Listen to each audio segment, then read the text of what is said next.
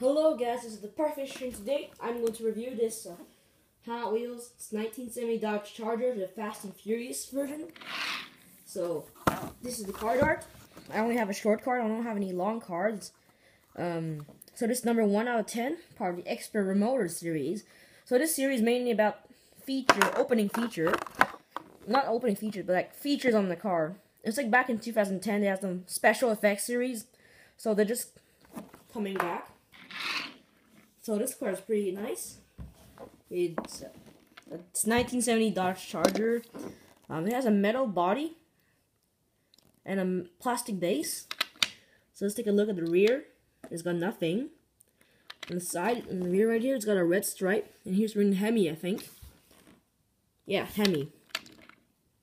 Then it's got those spare tires in the back. Pretty cool. And here's got a hole. An open roof. And here's got some a circle. He's written Hot Wheels and some hood pins detail. So that's pretty much about it for this car. It looks pretty cool. And yes, there is some suspension feature, but like I really cannot feel much of it. But there's definitely some suspension. It's, but it's more like um it's more like for turning like that. For shaking the car.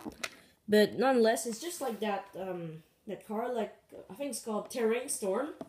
Um, it has some suspension, but not really powerful. Not like Tomica suspension. It's really some sort of light suspension. But yeah, it's pretty cool anyway. So yes, this is my review for this car. I rated um 11 out of 10.